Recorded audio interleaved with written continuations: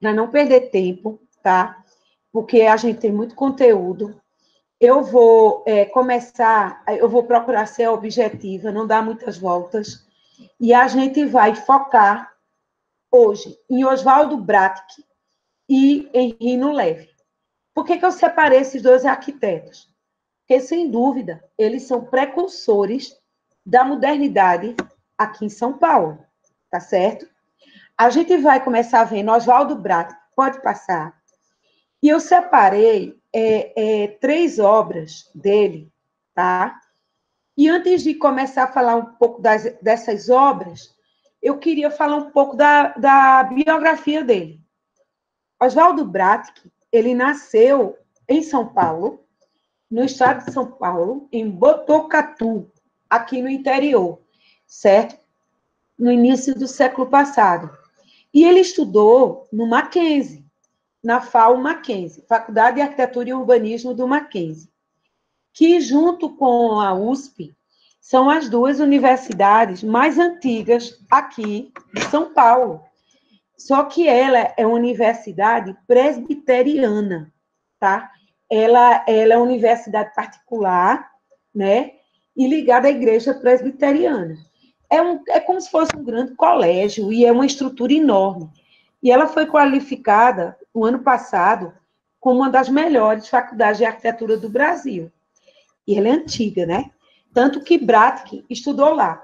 E, e, a, e o Mackenzie sempre se destacou por ter uma relação muito próxima com a cultura americana, certo? Com os Estados Unidos.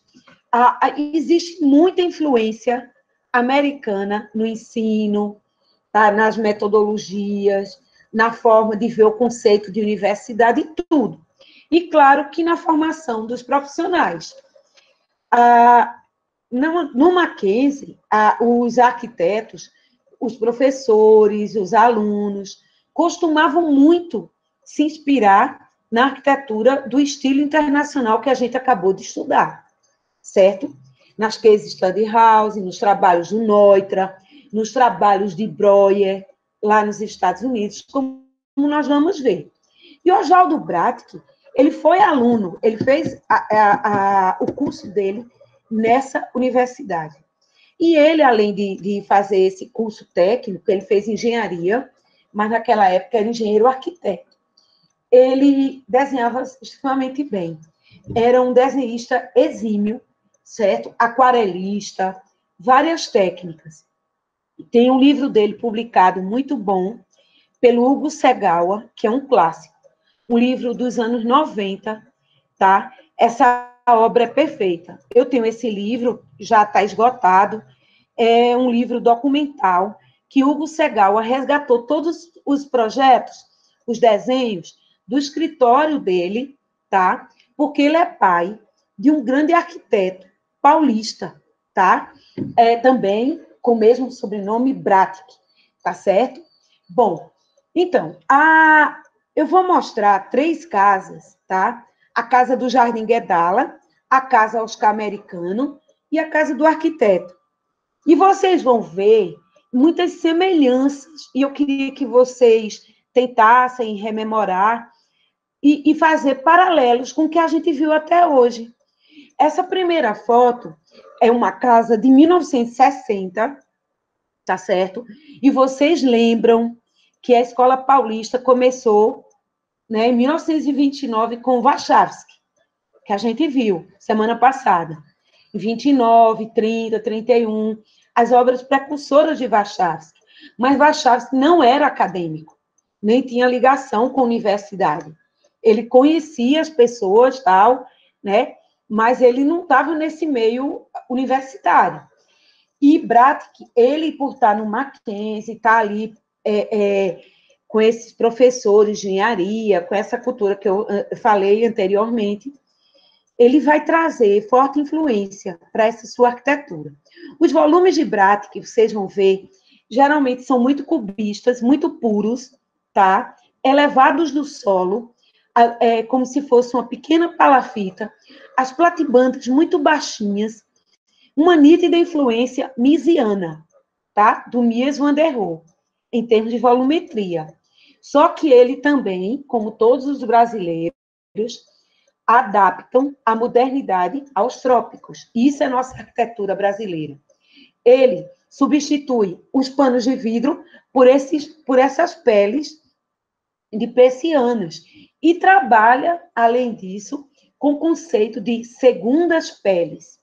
Ele joga sobre a esquadria de, de vidro, tá? Essa, esse painel corrediço, tá certo? De persiana de madeira. Pode passar. A planta é altamente neoplasticista. Vocês já viram o semestre todinho eu falando de plantas neoplásticas ou neoplasticistas. São plantas que trabalham com zoneamentos como essa, tá? E zoneamentos de áreas, setor é, íntimo, social, serviço, e, e vejam também adoção de uso de modulação, né? Que é uma constante da planta moderna, principalmente a planta espalhada, a planta é, é, geralmente térrea dessas casas, tá certo? E, e, geralmente também outra característica, além dessas que eu falei, é o uso de pátios, tá certo? Todos os projetos de Bratic vão trabalhar zoneamentos, pátios, modulação, transparências espaciais, tá certo? E uma nítida influência na planta, não de Mies, mas de Marcel Breuer.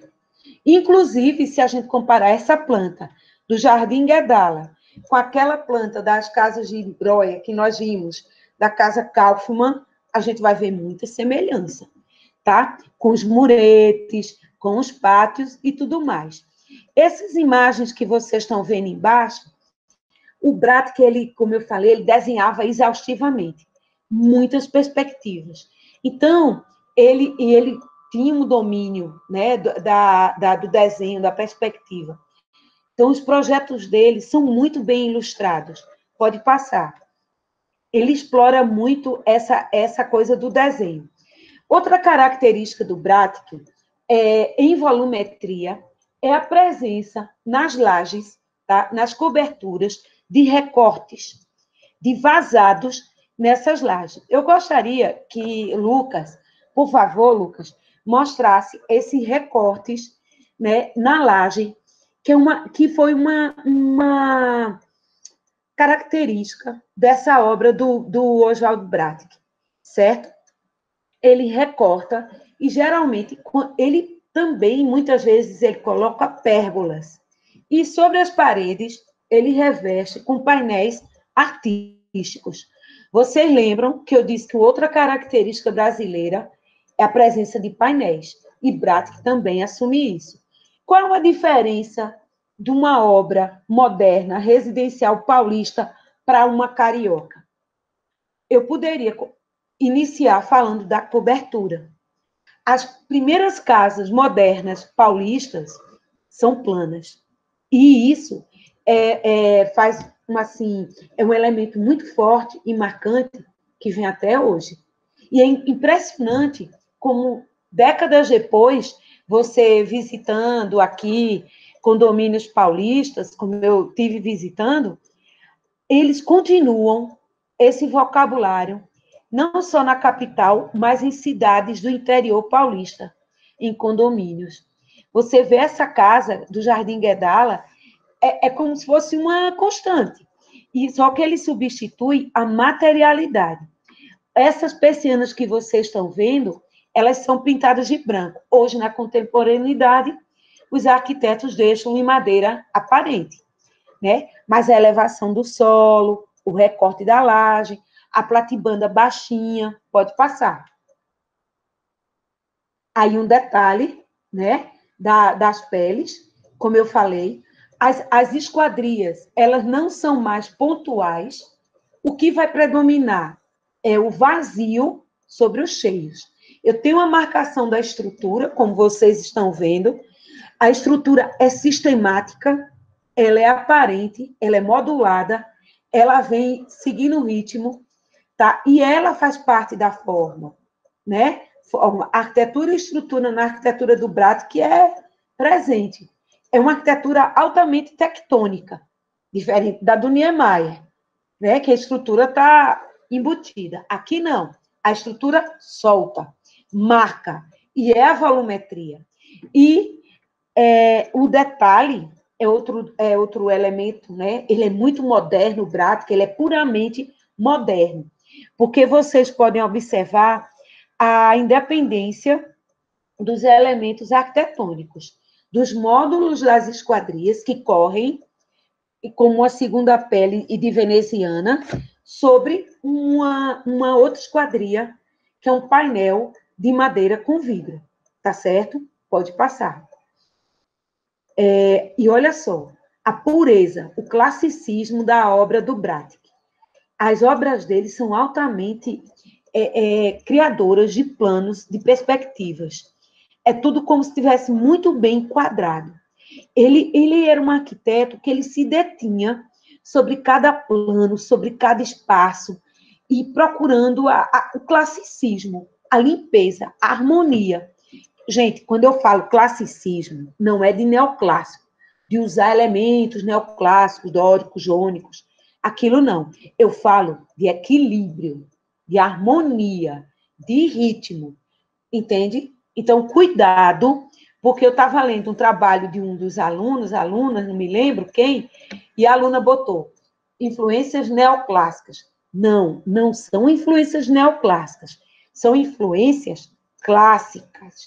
Clássicas em harmonia, equilíbrio, ritmo, módulo, que os clássicos usavam, que os neoclássicos usaram.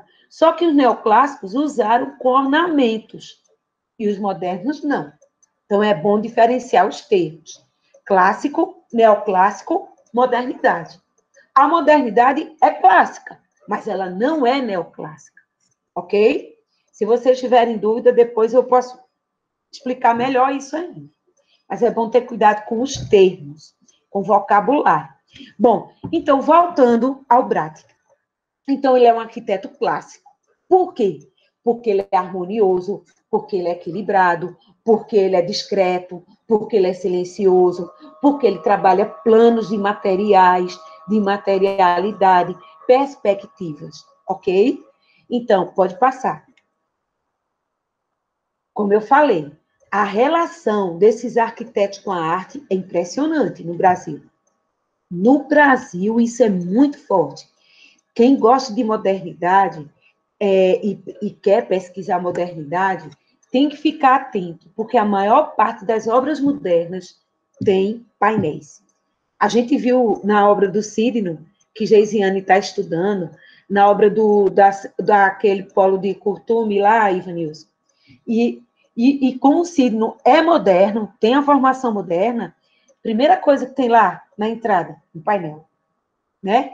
É, impressionante. FIEP, painel do Atos Bucão, todos. No Clube do Trabalhador, do Tertuliano, painel lá do, do Lula Cardoso Atos. Então, isso é uma coisa assim constante, que eu quero que vocês absorvam isso. A modernidade brasileira em diálogo constante com as artes plásticas.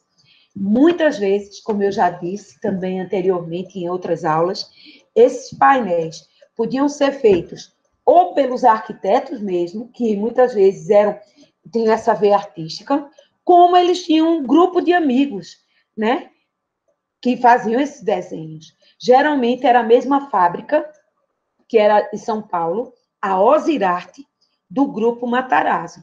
Eles desenhavam, essa fábrica executava e mandava esses painéis para o Brasil inteiro, certo?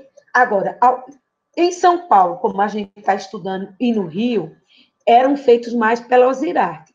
No Nordeste, já tinha uma produção mais local, certo? Pode passar. Uso de pérgola, que vocês estão vendo, tá? Bom, vocês viram a casinha do Jardim Guedala. Não era uma casa muito grande, era uma casa térrea, elevada do solo, meio, meio com uma fase no ovo, soltinha, né? A platibanda baixinha, o recorte na laje. Pois bem, olhem essa perspectiva. Essa é a casa do arquiteto, feito no bairro do Morumbi. O bairro do Morumbi é um bairro que até hoje, tá? Ele é muito arborizado. É um bairro que em São Paulo é uma reserva ecológica. Lá não pode se construir prédios, tá? Pode no entorno, em outros bairros. Mas lá no Morumbi, tá? São condomínios ou grandes lotes, tem Palácio do Governo lá, tá? Tem escolas, mas é uma área preservada ecologicamente dentro de São Paulo. Naquela época, o Morumbi era um bairro meio que afastado. Só que com o crescimento de São Paulo, né, ele foi ficando, ele foi ficando incorporado à, à, à malha, entende? E hoje, gente, essas casas ocupam grandíssimos lotes. E é muito complicado esse acervo é, ser preservado assim, por quê? Porque esses lotes geram IPTUs muito altos para a família dos herdeiros e também a manutenção dessas grandes áreas verdes construídas fica difícil para quem vai administrar o imóvel moderno. Isso, gente, está acontecendo com as obras de vários arquitetos, do Bratic, tá certo? Do Hans Bros, de vários, tá? Do Vila Nova Artigas. Eu tive a oportunidade de visitar aqui muitas casas dessas, tá? Eu não fui nessa do Morumbi, mas fui numa outra que eu vou passar do Oscar Americano, que é uma fundação aberta à visitação. Fui também na casa da Lina Bobardi, que é a Casa de Vidro, a, a Casa do Vila Nova Artigas, que virou um café e um espaço cultural.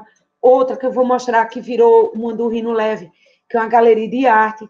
Quando a casa é mais urbana, o lote não é tão grande, fica mais fácil. Mas essas casas espalhadas e no passado e hoje é um problema a conservação. É, após falar dessa questão né, da preservação do imóvel moderno dentro da cidade contemporânea, a gente volta para as características do objeto em si arquitetônico.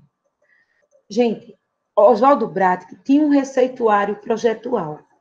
Ele, a, o partido dele era o mesmo. Ele só ampliava a escala.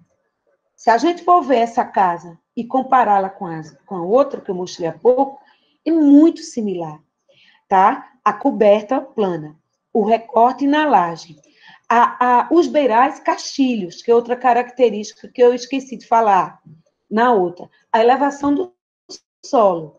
São constantes projetuais. E eu quero que vocês também aprendam essa, essa terminologia. Eu vou escrever aqui, ó, constantes projetuais, tá? Ou também a gente chama critérios ou princípios. Vocês podem usar esses sinônimos. E o que é isso? Gente, isso nada mais é que o vocabulário do arquiteto. O que é o vocabulário do arquiteto? Sabe o que é, minha gente? São o que hoje o pessoal chama partido arquitetônico, quando cada arquiteto tem um partido, mas o termo científico é constante projetual, critério projetual, princípios, vocabulário plástico formal, funcional, certo? E ele tem, cada arquiteto tem isso. Vocês não viram que Niemeyer tinha, que ele aumentava a escala? Ele pegava a igrejinha de Pampulha, ampliou para fazer um auditório no Memorial da América Latina. Ele pegou a casa do baile, ampliou para fazer o Ibirapuera. Oswaldo Braga do mesmo jeito. Ele pega uma casinha pequena, amplia, mas usa os mesmos princípios. Pode passar. Então, esse, gente, isso que vocês estão vendo são desenhos feitos à mão, certo? São esquetes, tá? Não são perspectivas de, de computador, nem nada. São desenhos. Ele desenhava com uma qualidade que a gente fica impressionada, certo? É, é, com a precisão, a escala, a, a, os detalhes né? Você jura que é uma fotografia, né? É muito bonito o desenho dele. E vocês vejam que cada plano dessas fachadas, eles trabalhavam, ele trabalhava com soluções distintas. Ele gostava de usar os brises, tá? Os cobogóis cerâmicos, tá certo? Que são constantes também em termos de peles, tá? Então, vejam aqui o desenho, tá? Pode passar. E aqui a foto, né? Então, a, a concretização do projeto. Então, é, a, se aproxima muito do que ele tinha projetado, tá certo? É, a, o ritmo da estrutura, a liberação do solo, a criação dos caixilhos e os recortes. Pode passar. Outro ângulo da casa. A gente só diz que a casa é antiga por conta desse veículo aqui na garagem, né? Que dá o toque do tempo e até uma contradição, né? Porque o veículo assim tão arredondado, parecendo antigo, e a casa tão ainda hoje contemporânea. Pode passar. Vocês estão vendo que a estrutura é muito marcada. E aí, eu vou, ele, ele fez nessa casa um anexo para ser o ateliê dele, o escritório dele. É, esse bairro era um bairro muito residencial. E a maior parte dos arquitetos é, tanto moravam quanto trabalhavam. O Hans Bros também, a casa dele também é nesse bairro, e também o ateliê dele era na própria casa. Eles faziam como uma entrada independente, interligada aqui através dessa laje, e um escritório, vocês vão ver, muito simples, e ele fazia projeto para o Brasil inteiro. Inclusive, ele fez uns projetos maravilhosos, pro, maravilhosos para o norte do Brasil, no Amapá. Umas vilas para umas indústrias, cidades operárias belíssimas, lá no norte brasileiro. Tudo nesse escritório. Vamos ver o escritório. O escritório tinha uma planta muito simples, tá certo? Com, com um acesso em portinha de madeira, usando, no lugar dele usar cobogó, ele usou tijolinho de furo pintado de branco, tá? Como vocês estão vendo aqui, ó, a lâmina, tá? A plantinha toda simples, a entrada aqui, ó, sala de reunião, sala do, com a prancheta, um banheiro, uma, uma mini cozinha, não precisa mais do que isso, tá certo? E era aqui que ele produziu durante anos. Vejam que a materialidade lembra um pouco, não a materialidade, eu quero dizer, a forma, a, lembra um pouco as case study house, na fragilidade do volumezinho, né, magrinho, com as colunazinhas, o telhado baixo, lembram muito aquelas casas que nós estudamos, que a gente vê, o pilar, ó, são duas tábuas de madeira, é, duas vigas em pé, e ele faz essa junção, quer dizer, uma construção barata, rápida, modulada, simples, né? A planta pavilionar, o espaço muito enxuto. Agora, o que chama atenção? Os rasgos, a, a, a, o cuidado com o, o jogo de plano das esquadrias, e com esses materiais que são baratos, mas que trabalhar de uma forma harmoniosa, o projeto ficou super legal pode passar. E, e é bom, meninos e meninas, para vocês aprenderem a projetar. Muitas vezes vocês, ah, vocês moram numa cidade interior, querem fazer o escritório de vocês, querem fazer uma proposta. Não tem que fazer obra sofisticada, vidro, não sei o quê. Vocês podem fazer propostas racionais, com materiais locais, com, sabe? O simples tem qualidade. E os modernos, os mestres nos ensinam isso. Brat, com essa simplicidade do seu escritório e da sua casa. Lúcio Costa, com aquele hotel que a gente estudou em Nova Friburgo, né? Então, quer dizer, você não precisa fazer obra cara para você ser um bom arquiteto, uma boa arquiteta. Isso é que é importante. A planta da casa dele, olha a simplicidade, né? Uma planta simples, compacta, mas o efeito, aquele que nós vimos, com recortes, com pátios, né? Ainda tem uma, a parte do subsolo, porque ele tira partido da topografia, deixando a casa como é, semi-elevada. Pode passar. Aí vocês estão vendo alguns esboços, né? que ele fazia, porque esses arquitetos, eu tive a oportunidade de entrevistar alguns, não Bratic, mas o Bossoi, e eles me diziam o seguinte, Caqui, como naquela época não tinha 3D, não tinha computador, não tinha nada, a gente ia fazendo como se fosse andando pela casa e, e projetando, desenhando cada coisa que a gente pensava, até para mostrar, né, para a gente mesmo entender o projeto e o cliente, possível cliente também. Então, esses projetos, isso é importante para a Geise, que está estudando esse processo de desenho, representação gráfica no projeto, eles, esses desenhos, eles são verdadeiras obras de arte. E, e os arquivos é, de universidades, arquivos particulares, como da Casa da Arquitetura do Porto, que comprou o acervo todinho do Paulo Mendes da Rocha, né, e levou lá para Portugal, eles, eles transformam, eles cuidam desse material com o maior zelo do mundo, como de Harvard, como do Canadá, como da FAO, como da UFRJ, certo? É uma pena que no Nordeste a gente não tenha ainda um arquivo é, que a gente possa servir de exemplo dessa documentação.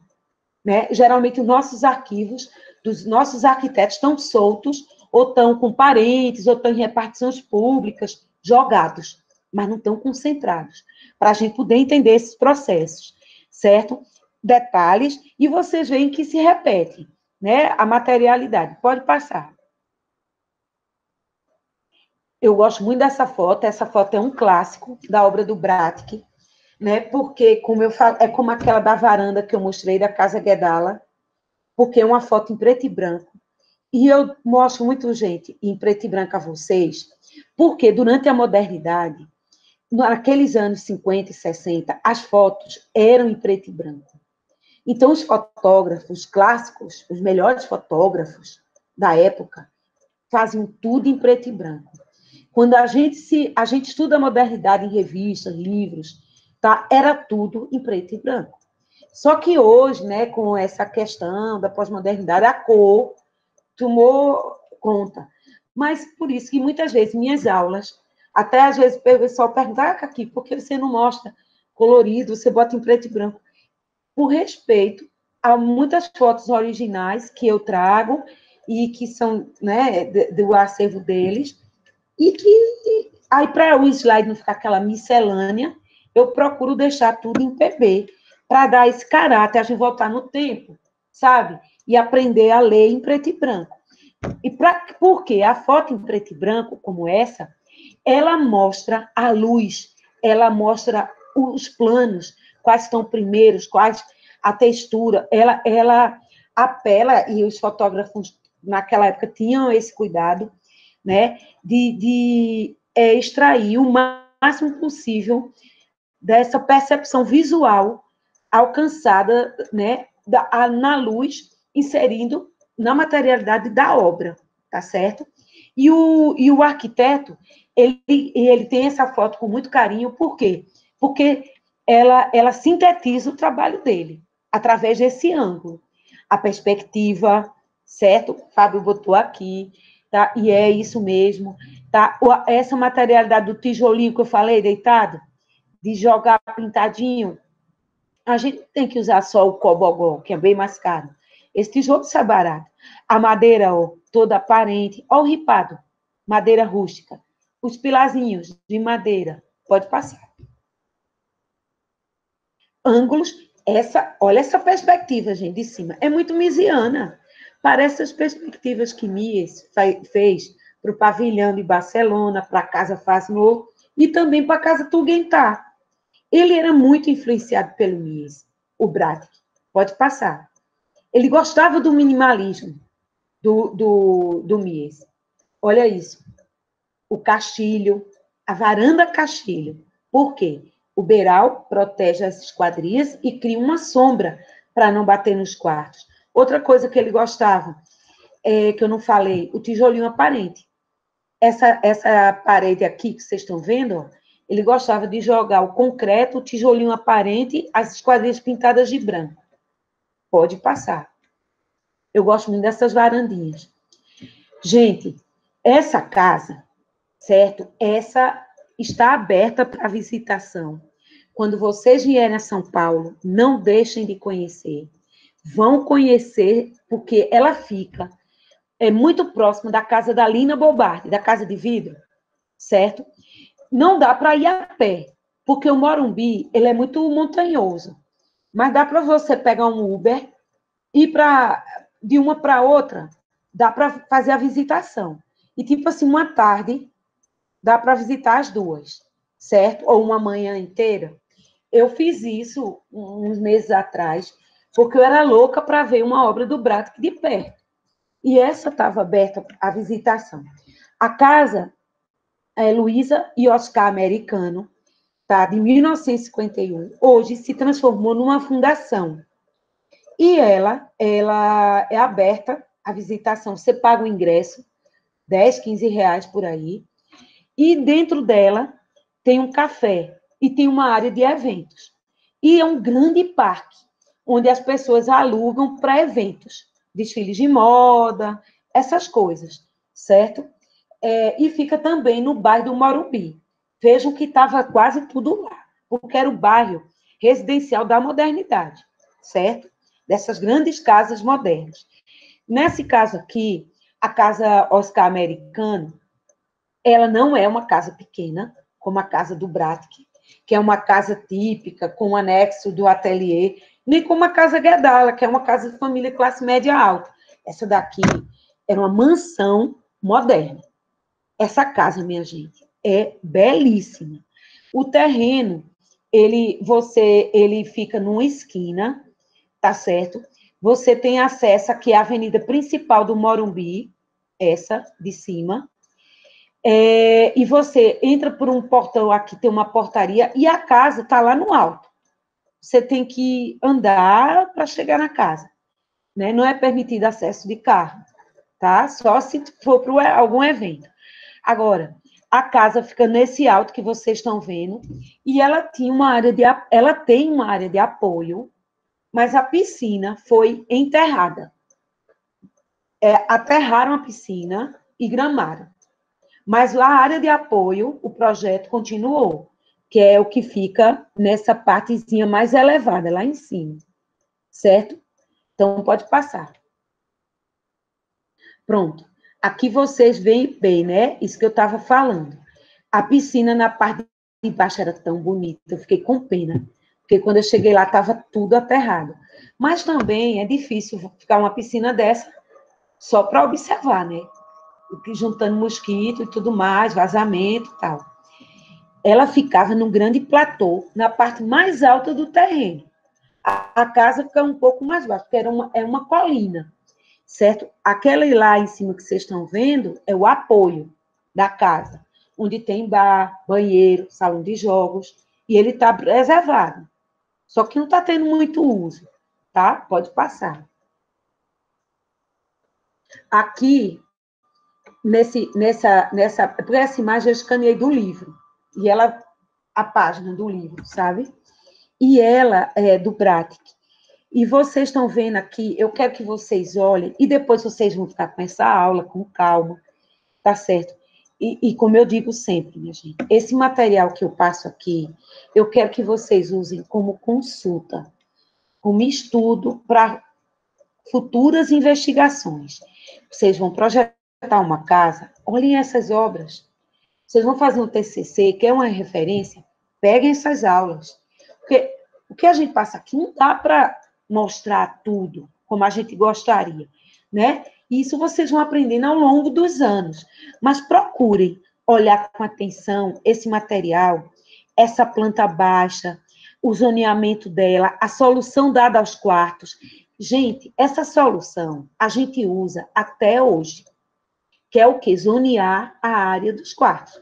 Quem estudou o projeto 1 comigo, lembra que os quartos, a, a zona íntima, toda modulada, como é que eu faço banheiro em casa? Banheiro junto com banheiro. E eu, eu faço isso por quê? Porque eu aprendi com os modernos.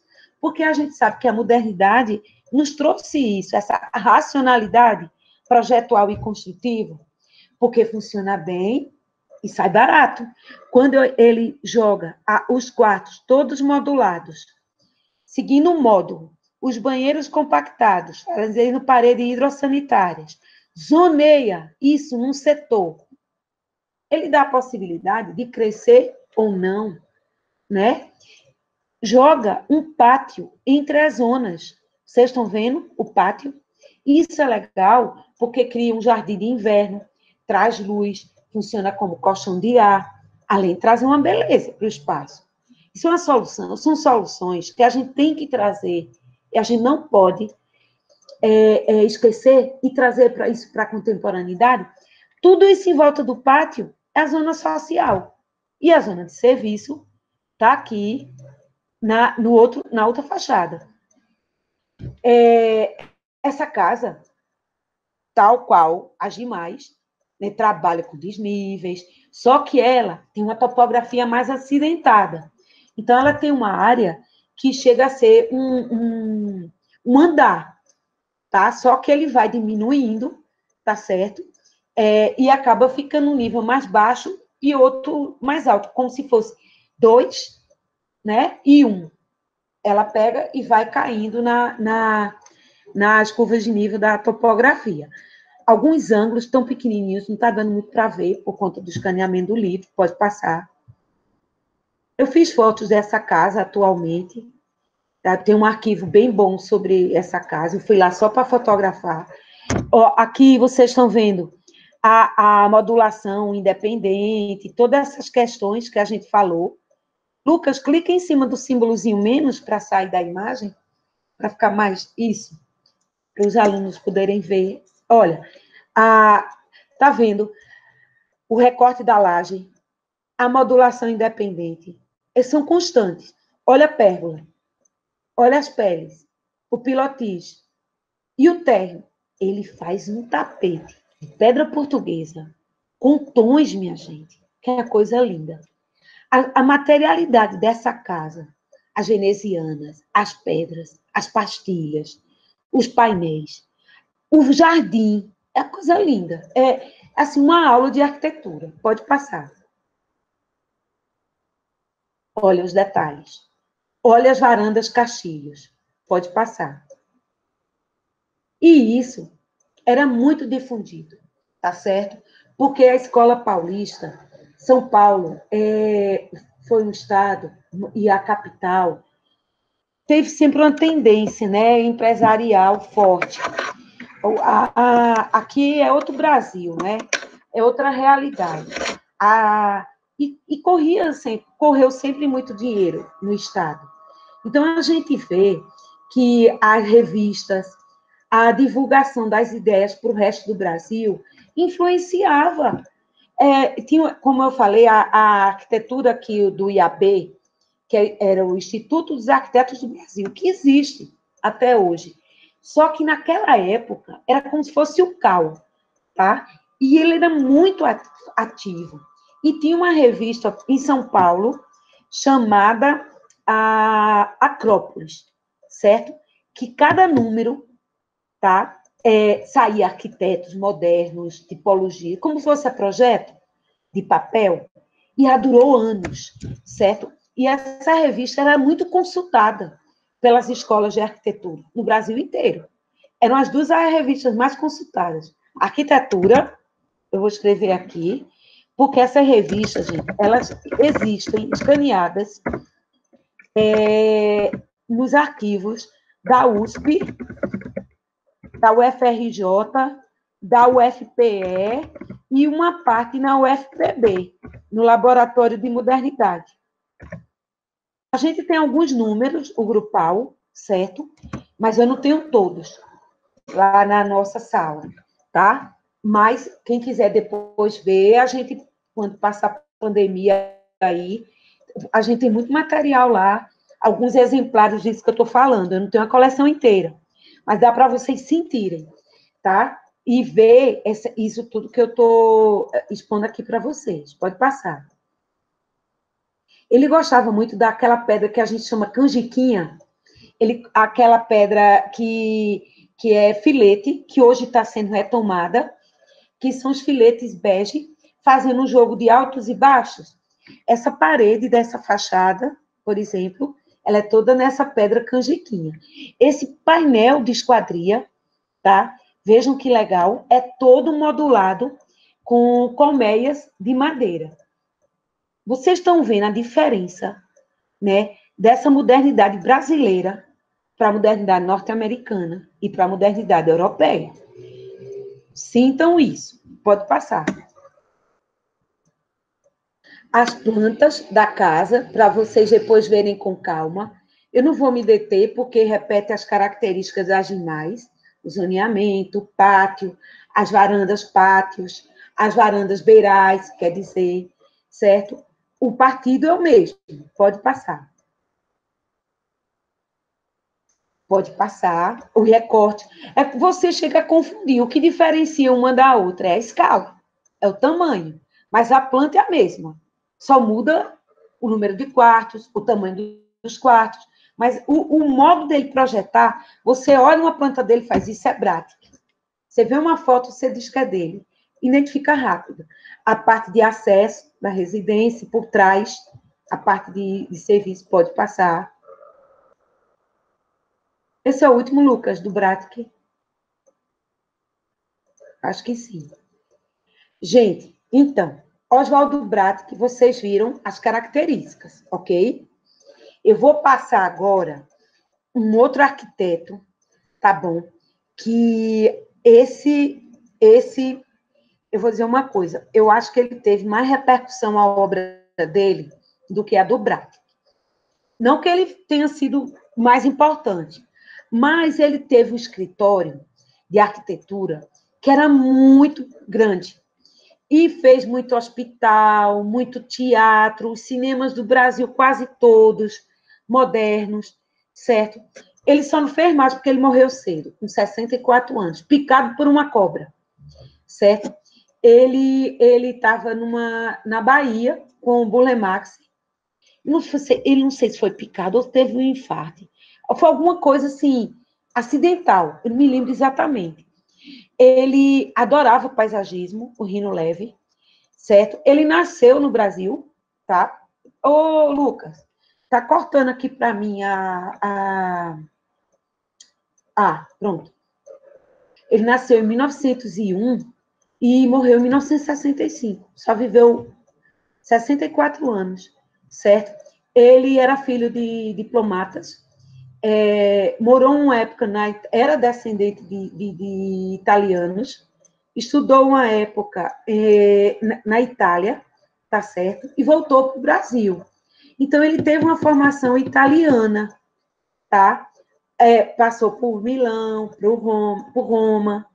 Tem um livro muito bom dele, é, que já foi reeditado pelo Vitruvius, pela Romano Guerra, que é o livro que o Renato Anelli e o Abílio Guerra fizeram sobre Rino Leve. É maravilhoso esse livro.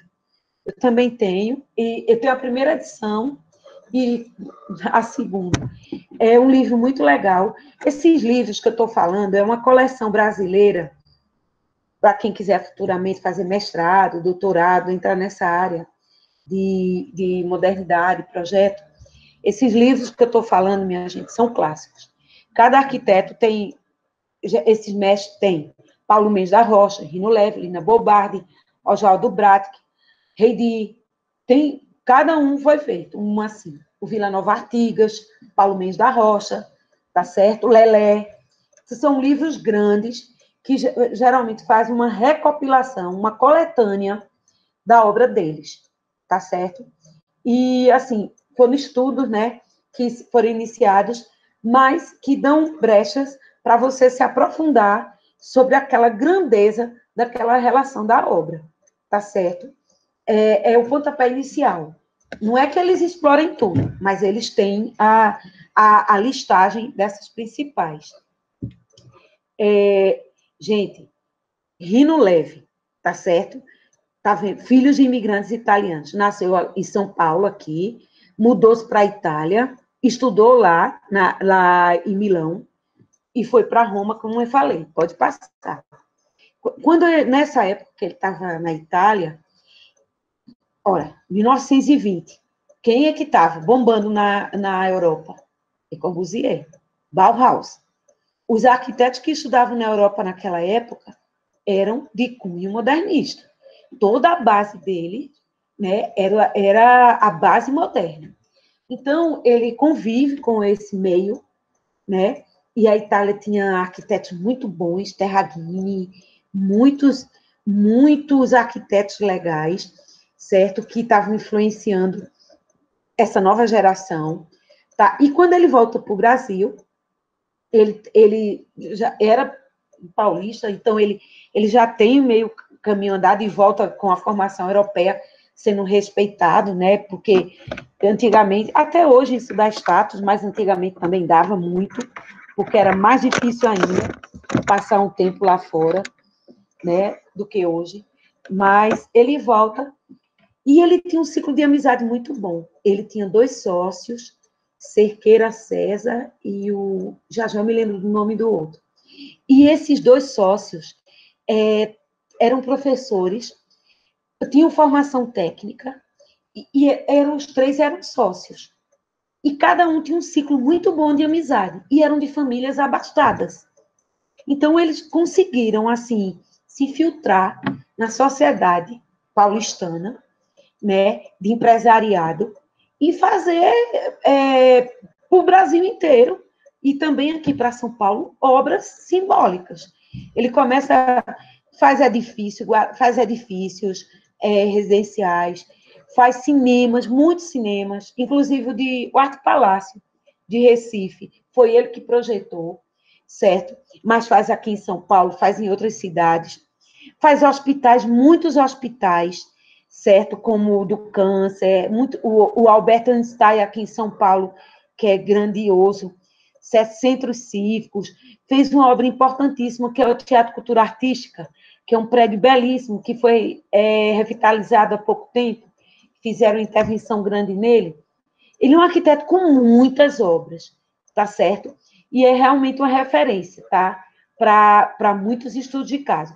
Eu vou passar por algumas obras dele, não por todas, porque é impossível, tá? Vamos lá dar uma passada. Pode ir, Lucas.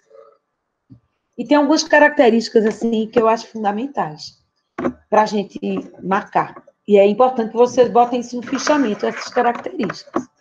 Uso de pátio, tá? a preocupação com a proteção ambiental, o conforto climático. Vocês estão vendo como esses arquitetos modernos brasileiros tinham isso com o clima? Impressionante. O condicionamento térmico dos edifícios, grelha estrutural da fachada, tá? E a gente vai ver tudo isso num dos primeiros exemplares que ele fez no Brasil, que foi o Instituto, é, um Instituto de Educação, né, o Superior Sede SAP. Pode passar, de 1940. Oxe, apareceu Brasília, pode passar. Ô, gente, é porque foi para o final. Oi? Voltou, pronto. Então, é, aqui é o Instituto, né, é uma escola, inclusive essa escola, a capa, essa de baixo, é uma foto do livro, da capa dele, tá certo? É, Ivanilson, tu pode botar o link aí do livro, para eles verem depois os meninos, do Abílio Guerra e do Renato Anelli, da Romano Guerra, para eles verem. E ver se tu acha também, Ivanilson, o link do livro do Oswaldo Brat, do Segawa, viu? São duas referências muito boas. Eu mandei para os monitores um link do, do site, que é muito legal, que vocês podem consultar, do Itaú Cultural. Eu amo. Porque lá tem tem uma biblioteca virtual bem legal sobre a arte, arquitetura, e tem as, é, o texto sempre é bom. É muito bom vocês usarem o site do Itaú Cultural, certo?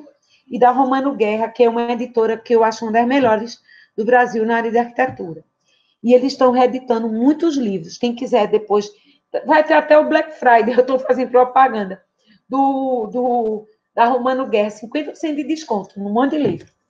Olha, é, eu estou falando isso porque foram Abílio Guerra e Renato Anelli que fizeram o livro sobre Rino Leve, certo? E muitas dessas imagens que eu estou usando aqui são do livro, que na época eu escaneei para fazer as aulas. Ah, pode passar. Então, esses primeiros projetos do Rino Leve, eles, eles, eles são proto-modernos, certo? Eles não estão totalmente modernos, eles ainda têm umas formas meio, meio decor, em alguns elementos, como essa marquise, Mas a planta livre, a estrutura livre, a presença de jardins, tá certo? O uso de copobogós. Notem que são ambientes frescos. Por quê? A, a intenção dele né, era esse conforto climático, que eu falei há pouco. Pode passar.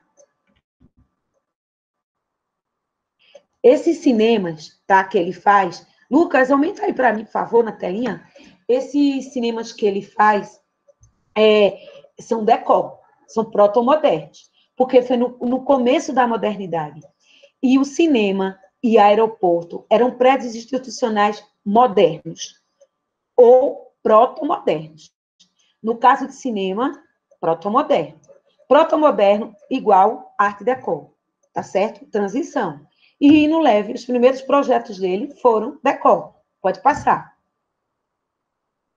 Tá? Faz prédios, né? começa a fazer os primeiros edifícios de altura de São Paulo. Essa foto, vejam São Paulo antigamente, tá? Né? Muitas casas ecléticas, um prédio aqui, outro ali. Hoje, né, a maior parte disso foi demolido. Pode passar. Embaixo, detalhes de, de, de marquises, esses prédios né?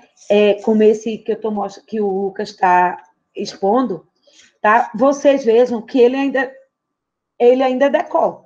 É um é difícil de altura decor. Né? Mas é importante a gente ver a trajetória do arquiteto, né? Como ele como ele se inicia, as janelas de fita, esse canto abaulado, lembra muito o quê? Os primeiros projetos da Bauhaus, né? É, com esses, esses balcões, essas janelas maximar, essas marquises, que ele introduz na, nos edifícios de uso misto. Pode passar. Lucas, se tu puder maximizar toda vez para eu ver a legenda, porque eu não sei todos os nomes, não. Tem vários edifícios, como esse Guarani, pode passar, também decor, né? Pode passar. Eu vou passando, gente, porque tem muito slide. esses edifícios, e, em, num bairro aqui perto do Mackenzie, Genópolis, que é um bairro perto do centro, que tem muitos escritórios. Olha, estrutura marcada, aí ele vai evoluindo, ele vai soltando, né? vai trabalhando os planos, vai procurando o ritmo, vejam que não é simétrico, que a estrutura é bem marcada, é difícil de uso misto, esse projeto é legal, vamos passar. Isso é muito Bauhaus, né? É bem Bauhaus tá? Ele, ele, nesse conjunto de residências, pode passar, ele introduz a modernidade em grande escala em São Paulo. A gente pode dizer isso. Inclusive, uma pesquisadora nossa, a Camila né, Menezes, está fazendo a, o mestrado dela aqui na USP sobre as obras do Reino Leve e estudando edifícios maiores que ele projetou com a cor, através de pastilhas, as cerâmicas, bem legal. Inclusive, a gente visitou algumas, pode passar. E esse edifício Prudência, eu tive nele há pouco tempo, gente, ele está sendo restaurado, a parte de baixo, esses pilotis é, são revestidos com pastilhas marrom, os apartamentos são enormes, certo? É, espaços amplos, tá? Os jardins projetados pelo Burle Marx, com painéis de Portinari, são verdadeiras obras de arte. Esse está sendo estudado por Camila. Pode passar. Sobre a questão da tectônica. Grandes edifícios, é, vocês vejam, é, ele começa né, com o escritório dele, como eu falei, com esses dois sócios, Cerqueira César e já já eu me lembro o outro, Franco, estou lembrado do primeiro nome, já já vejo, tá? Eles projetam, né, esses arranha-céus que vão introduzindo essa modernidade na cidade. Pode passar. Esse é famoso, o Teatro Cultura Artística, e é muito trabalhada por a gente em Projeto 5, é, porque é um projeto de intervenção. O, ele só tinha esse térreo com esse grande painel que tem uma influência muito grande da arquitetura mexicana moderna, né, do, dos painéis é, que porque o México, Diego Rivera, projeta a UNAM, né, com grandes painéis da cultura asteca, e, e o Rino Leve traz, sai o painel do interior e traz para a fachada, e tira partido disso na volumetria. Esse teatro fica muito perto do Mackenzie ali pelo bairro de Higienópolis. Foi, ele trabalhou no, no final dos anos com o arquiteto tá, do Paulo Bruna, que é o livro do, da industrialização. Paulo Bruna e a esposa são professores do Mackenzie até hoje, bem idosos, mas continuam dando aula. Eu assisti uma palestra dele há pouco tempo e ele mostrou o projeto que fez de intervenção nessa obra que ele projetou junto com o Rino Leve. Porque fizeram esse edifício de altura aqui atrás, que vocês estão vendo, que não tinha originalmente. Só tinha essa parte de baixo. Porque teve um incêndio e perdeu-se muita coisa desse teatro. E aí foi uma polêmica danada, se faz ou não faz anexo, enfim. Acabou decidindo se fazer esse anexo, mas a escala da rua, quando você passa, você não vê esse volume, está recuado. Você sente só a volumetria original. Pode passar. Um projeto muito simbólico. Né? Bancos, o Banco Paulista de Comércio, no centrão de São Paulo, veja, introduzir isso dentro de um coração eclético ou neoclássico do Centro Histórico Paulista, do Vale do Anhangabaú, por aquela região, onde é o centro, né, pesado, o centro antigo de São Paulo, perto do mercado municipal, perto da 25 de março, naquela região ali, tá? Então, ele traz é, é, esse tipo, essa tipologia, tá? Que já estava, de certa forma, comum lá pela Europa. Mas no Brasil era novidade. Porque o que tinha se feito? O mês que não era assim. Vocês lembram bem do MES, era outro partido. Esse tipo de prédio comercial, de banco, criou uma linha. Se vocês verem no centro do Recife, ali na Rio Branco, o Banco do Brasil, o Citibank, são caixas de vidro, né? E aqui mesmo em São Paulo, hoje como é que se constrói? Estrutura independente, panos de vidros, só que vidros trabalhados, tal. Pilotis, pé direito duplo, é um modelo arquitetônico, é um protótipo, que virou uma febre para arquitetura institucional, empresarial, pode passar. Ele tem realmente muitas obras, fez muitos hospitais. E hospitais grandes. Hospital Cruzada para a Infância, fez o Albert Einstein, pode passar. Gente, cada obra de Rino Leve é, um, é uma tese de doutorado, entende? Tem gente que pega uma obra dele, porque é muito grande, são obras enormes, tá? É, ô, Lucas, baixa aí para mim, por favor, para eu ver o, o nome do edifício, que não está dando para eu ver. Lucas? Se clicar aqui, ó. Ops. Lucas? Ah, Pronto. Esse, esse também. Vocês estão vendo que ele usou aquela solução do Parque Guile, do pano de cobogó com a janelinha enquadrando. A que a gente viu do Lúcio Costa. Um trazia influência do outro. Pode passar. Pode passar. Lucas? Ele projetou o edifício da Fiesp certo? Aquele na Avenida Paulista, que o Paulo Mendes da Rocha fez a intervenção no pavimento térreo e no subsolo. Mas o projeto é dele, já no final da vida dele, pode passar. Ele fez muita obra forte. É, fábricas, certo? Essa fábrica, tipicamente Art Deco, pode passar. Ele tinha muito projeto, pode passar. Esse projeto que eu adoro, que ele fez no interior de São Paulo, para essa família que era dona da tecelagem Paraíba. E, e fez para eles também a casa deles, que a gente vai ver já já. Ele aqui projetou, sabe como a gente viu Cidade dos Motores e Mombal? Ele projetou isso no interior de São Paulo.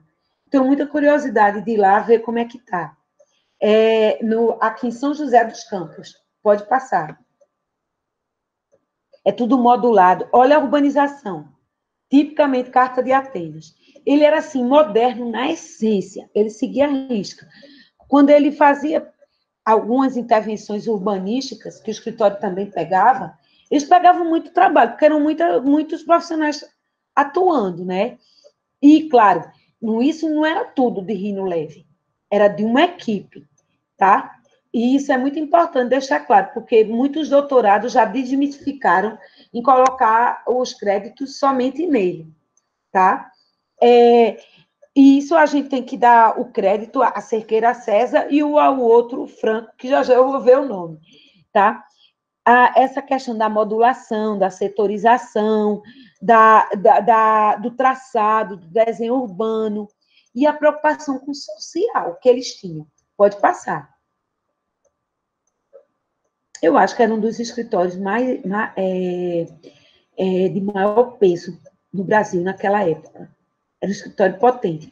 Essas casinhas eu acho muito legais, inclusive nós estudamos elas também em projeto habitacional, são habitação de interesse social. Eles projetaram essas casas geminadas, tá? Para os operários da fábrica de tecelagem em Paraíba, aquela que eu mostrei há pouco, são casas pátios. Se vocês olharem, essa casa é muito legal, reconstruir elas hoje. O problema é que as pessoas querem tudo isolado, né? Depois eu tenho um negócio para contar para vocês no final da aula. Por favor, me lembra, Ivanilson.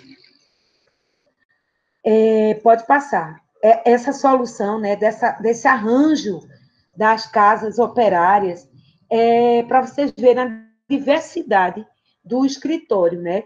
Que atuava desde hospital, cinema, é, edifício institucional, banco, até habitação de interesse social. Pode passar. A, projeto a, escolas, igreja, tudo na vila da tecelagem. Eu acho esse exemplo muito bom para estudo de caso. Por exemplo, é, eu tenho vontade até de pegar esse exemplo e levar e fazer paralelos na área de patrimônio industrial, com vilas, porque é um exemplo de urbanização do patrimônio industrial moderno. Né? É, é um exemplo que, que deu certo aqui no Brasil. Né? A exemplo do que foi Cidade dos Motores, mas que não acabou, né? É, e lembra muito é, aquelas tipologias que nós vimos em Mombau, né? Aquela arquitetura das escolas, das igrejas, pode passar. São as tipologias, pode passar. E como eu disse, gente, isso, isso é um material que está publicado na, nessas revistas e tem todos os desenhos, como vocês estão vendo, pode passar. Pode passar, Lucas. E aqui, tá? A gente vai ver essa casa. Eu vou mostrar, eu separei algumas casas, porque eu gosto, eu acho que uma coisa boa para a gente começar a entender os arquitetos, quem quiser começar a estudar um arquiteto, é ver se ele projetou alguma casa. Porque quando você pega as obras de casa, Le Corbusier, de Mies, de Breuer, né, a escala menor, você percebe melhor o, os critérios projetuais dele. E geralmente esses, esses arquitetos, através de suas casas, que são laboratórios, eles mostram para o mundo o que, que eles pensam do que é arquitetura, certo? Então, é, na casa que ele projeta para ele, essa casa. O Hélio Pinhon gosta muito desse projeto, a gente trabalha muito ele no, no doutorado, porque é uma casa que trabalha com pátios. O pátio frontal, o pátio dos quartos, o pátio de serviço, certo? Então, essa planta, gente, se vocês verem, é uma planta altamente racional, num, num terreno urbano, tá? Onde tira partido dos recuos, que não pode ser muito grande. Não é uma casa como a do Oswaldo Brat, solta no terreno. É uma casa no lote urbano.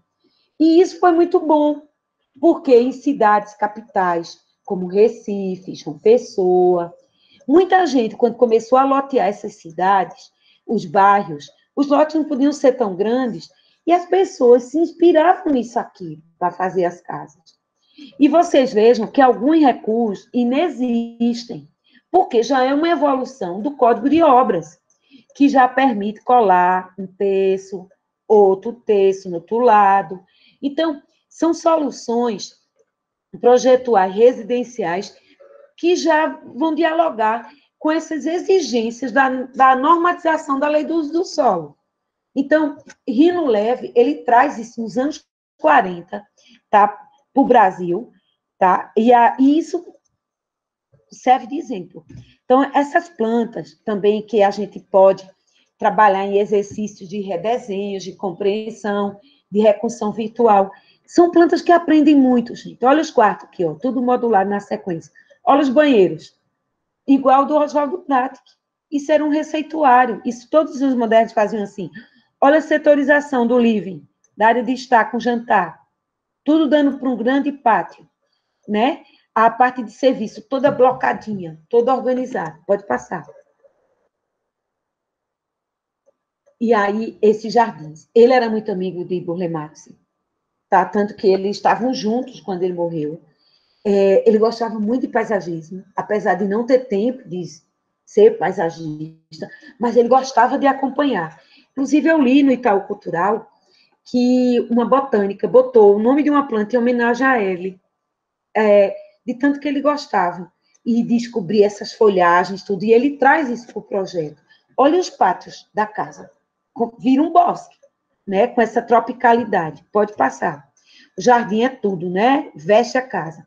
E, o que, e esse outro projeto que eu vou mostrar, que é a Casa Castor Delgado aqui, o, o esquema dessa planta vaza um retângulo com esses, esses pátios internos, que como ele procurava o conforto térmico, o condicionamento, serve como exaustão, certo? Pode passar.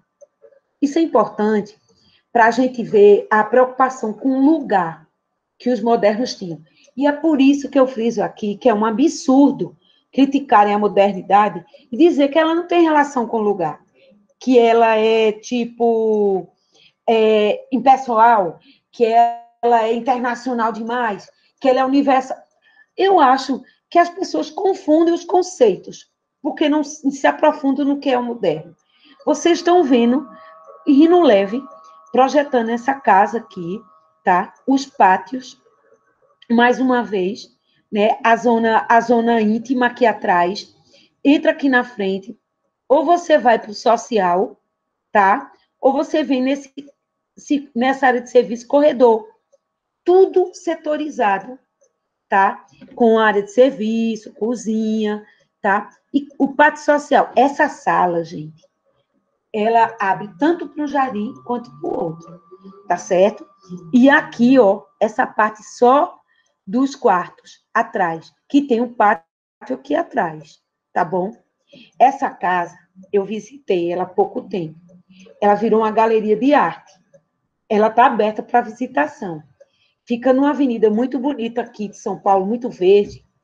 Estou esquecida do nome, estou péssima com a memória hoje dos nomes. É, é, e ela está totalmente preservada, certo? É linda, pode passar.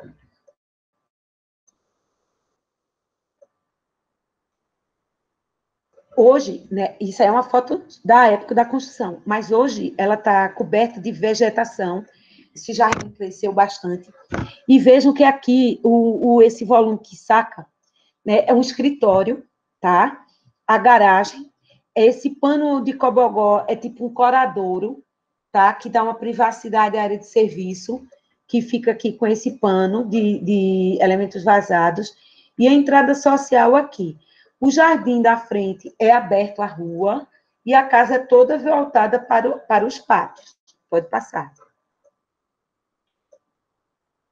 O, esse espaço social é, é, um vão único, lembra muito Neutra, né? Na, naquele, um desses projetos que a gente estudou do Neutra, tá? Eu acho que é a Casa Cálculo do Neutra. É, que tem, é, é um vão só, a sala, né? E de um lado vidros com jardim pergolado e do outro a mesma coisa. Então, a casa, é, você fica como se estivesse num abrigo, tá? É, mas protegido através dessas esquadrias de vidro, mas dialogando com os, jardins de inverno. Pode passar. E tudo com pérgola. Olha só, o espaço é muito fluido, muito limpo. E é também interessante ver que isso tudo está de volta. Você vai nas casas cores, aqui de São Paulo, é, ou do Recife, essas casas cores que a gente visita, tá? A parte nova, né, delas, Arthur Casas, Márcio Gauguin, esses arquitetos todos estão fazendo isso, né? Retomando esses princípios, esses grandes vãos abertos, únicos, tá? É, sem divisões e transparentes, né? é, interligando com esses exteriores, sem estrutura nenhuma atrapalhando, né? As vigas concretadas em loco, pode passar. A, a, isso que eu falei, né, do jardim que interage com o interior da casa, e por segurança foram jogadas essas pérgolas para evitar que pessoas pulassem, né? E ao mesmo tempo elas criam sombras e direcionam o vento, porque são brises, as pérgolas, pode passar. A vista da casa desde a rua, você não vê nada, é só o volume, porque ela, na verdade, está toda voltada para o interior. Essa legenda aqui está errada, né? Milton Cooper, não. Essa é a fachada da Gastor Delgado. Pode passar. Aqui a gente vai ver. Opa, Lucas, tira o símbolozinho, por favor. Opa. Certo, Lucas, volta aí para ver se eu me enganei. A, a, foto. Não, gente, tá certo. Essa é do Milton Cooper mesmo. Eu me enganei. A outra é aquela que eu já tinha mostrado no começo, aquela fachada do muro de Cobogó, com a fachada e com o primeiro andar. Essa é Milton Guba. Pode passar. Então, a, a planta também, mas né, ela, ela, vejam a presença do, na, no desenho da implantação da casa no lote, a determinação dos planos de jardins, que criam esses pátios, que a gente já viu em todas as casas dele, tá certo? A setorização da, da zona íntima, os três quartos, tá? Laminados ali. A integração da área social, a setorização do serviço, a entrada da garagem dando direto para serviço. Isso é outra constante. Pode passar. Muito parecido com a Castor Delgado, né? o partido, vocês veem, é uma constante. Pode passar. Como eu digo, esses arquitetos têm uma linguagem, tá? Pode passar. Tá pequena essa perspectivazinha, não estou dando para ver. O Cinema Arte Palácio, do, lá do Recife. Era decor, não sei porque voltou para aí. Pode passar. Oi? Pronto. Aquela, aquele dali, eu vou extrair dali, tá? Mal colocado. Não era para estar tá lá no início. Ah, esse, essa casa, tá certo? Era do dono daquela tecelagem Paraíba. Né? Em São José dos Campos, tá? A tecelagem Paraíba tinha fábrica aí, fazia cobertores, a, produtos, né? De lã, de tecelagem, teste, de algodão, tudo mais. E eles fizeram uma casa para a família. Isso hoje virou um parque chamado Parque Burlemax, e a casa é uma fundação certo? É, próximo dela aí tem aquela vila que eu mostrei, a Vila Operária, que vocês viram as casinhas geminadas, tudo isso era do conjunto teste, Fabril, tá? Essa casa, gente, é uma das principais obras modernas brasileiras, tá? É uma casa, se eu não me engano, ela tem seis suítes, tá? E ela é assim, jardim de Burle Marx, painel de Portinari, painéis de Burle Marx também. E ela tem uma influência forte do Neutra. Por quê? O Neutra gostava de trabalhar com essas vigas grandes e esses telhados de uma água só, meio que a estrutura aparente, meio que brutalista, e nos projetos que ele fez é, pela América Latina, certo? É, vocês lembram que eu falei que o Neutra publicou obras e teve uma influência forte no Brasil, tá? É, principalmente São Paulo, tá certo? Através daquelas visitas que ele fez, e é, não foram muitas, mas ele, ele deixou livre, fez expulsão aqui em São Paulo, teve no Rio. Então, isso foi importante para esses arquitetos terem contato com aquela linguagem.